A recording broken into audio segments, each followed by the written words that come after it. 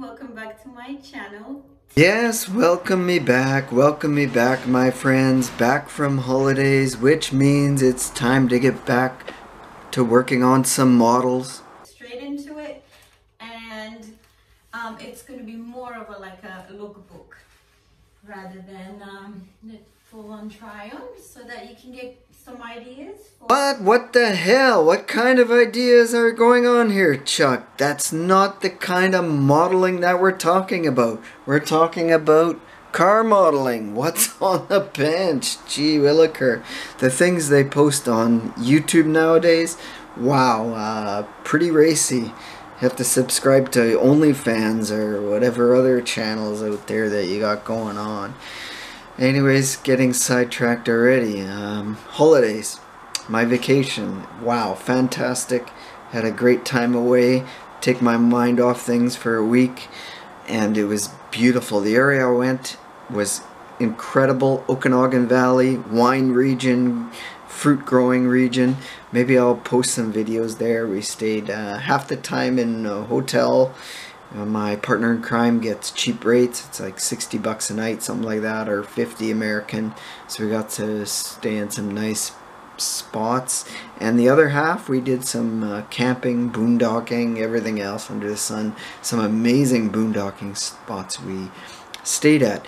Anyhow, just before I left, I did a short little bit on the shop truck group build that we got going on and we'll do that one and then show you what I've added onto that. So let's roll what we got. I showed you a very ugly scene in the last build video where I kept hacking away and what I wanted to do was let's get a pointer here.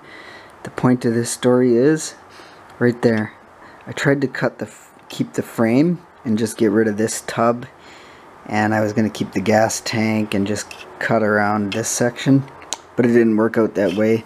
2.30 in the morning half asleep I just kept hacking away and I ended up saying screw it cut the frame rail out and I'm gonna build my own frame rails. And I say I'm gonna do that because here's the rear trailing link system. So you see how this goes on there? The truck arm NASCAR kind of trailing link.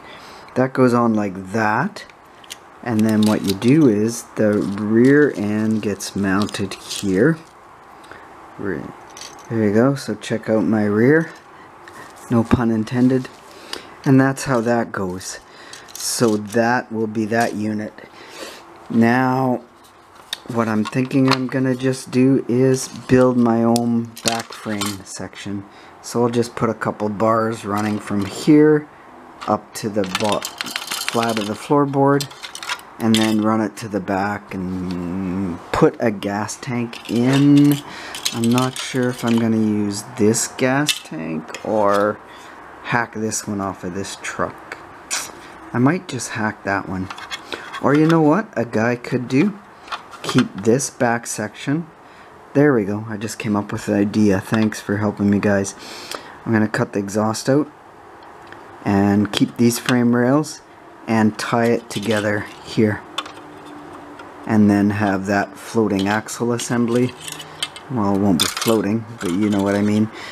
And then I will have the springs are somewhere. I got springs for the back and we also have shocks from this NASCAR kit. So that's what we, we will do. Whoops I got it backwards. Look at that. How good am I eh? I'm, I'm back asswards. Or is that ass backwards? So anyhow, that's the situation. You know, the fella had a lot of time and patience and whatever and wanted to go fancy. He'd just make his own trailing arm, pin it, and have it so that it's actually movable. Who knows if uh, I've got nothing to do this blah blah blah winter or fall. Maybe I might do something like that. Actually, it would be easy to do because I could just chop there, there, and pin that. So you know, thanks very much for sitting with me today and letting me come up with some ideas here. So that is the plan stand. A few inches later, day two.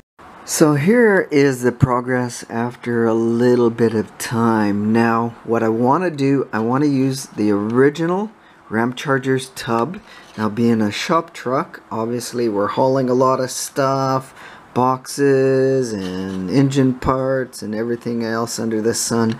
So we're not going to put back seats in this, but I want to keep that tub, like I say, the original tub.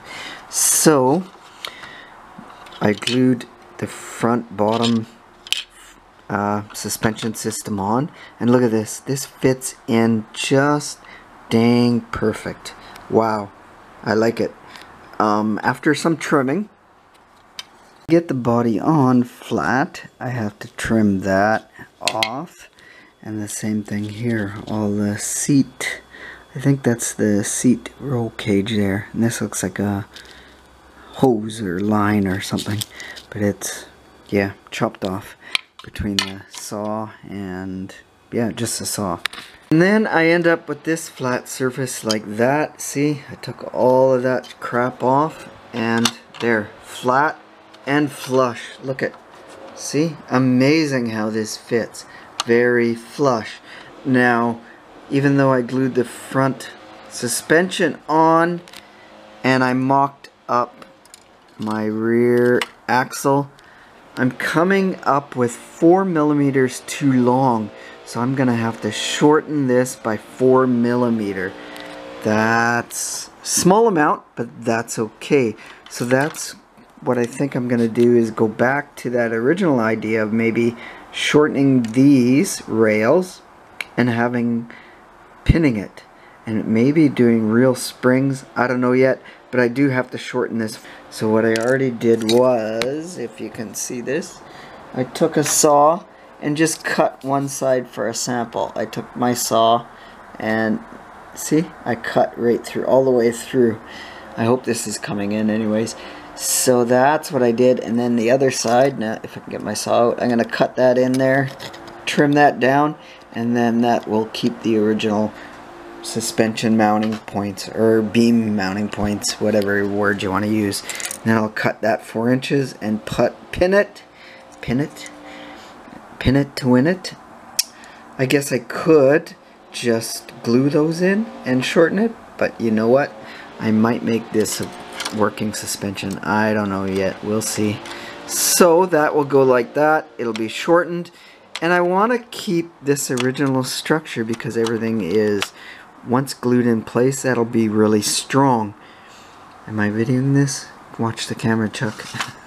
Uh, yeah. So that's a pretty strong system that they have there gluing all the mounting points and I could you know shorten it different ways. I thought you know move it down in that.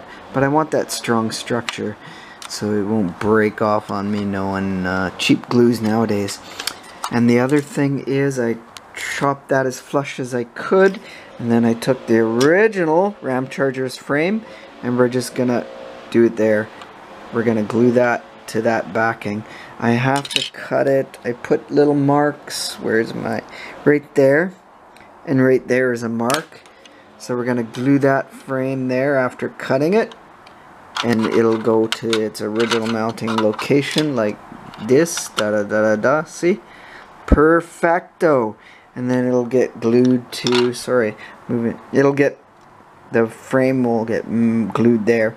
Then we'll put the other springs in from this suspension and blah blah blah blah blah type of thing so and the other reason why I have to keep this mounting point is the bumper bolts to there. Uh, it should be the original uh, bumper location. So that's a good thing because other than that I'd have to mock up my own bumper brackets which would be a pain in the nuts.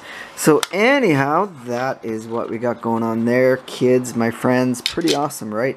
I think this is going to look good. And it's lowered down. I mean, like, it's going to be low, low. It's like freaky cool low. But hey, we're going to save that till next time. Show you the stance. How's that? Do I look awesome? oh my god. Um, no edit here. Anyways, my friends, this kit has turned out to be quite a bit of fun. The shop truck group build challenge there.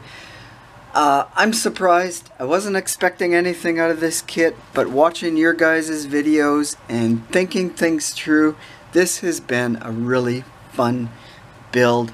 Slightly challenging. And speaking of challenging, challenging, I'll get that word out, substandard, remember. Uh, what was I going to say? I don't know. Lost my train of thought. Speaking of challenging, I challenge you guys. You know what? Think outside of the box. Think outside of the box.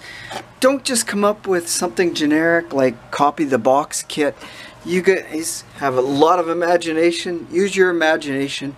Come up with something unique. When you do that, you have a lot of fun when you start building some of these kits.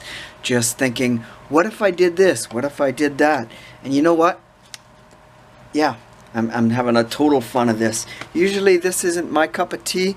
I only entered this challenge to have fun with everybody else and join in with everybody else, feel a part of the modeling community, and that has come, yeah, am amazing, awesome, as I said.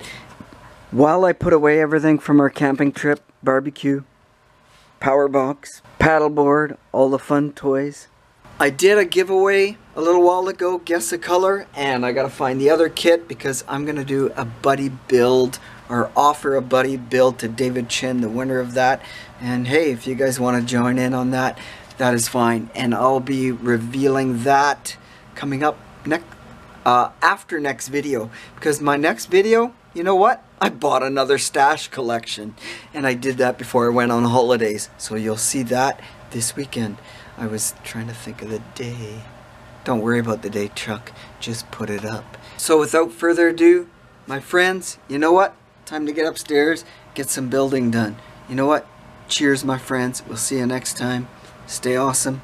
And no cheers. I don't have a coffee. I gotta go upstairs and make coffee. So, see you up there. Next video.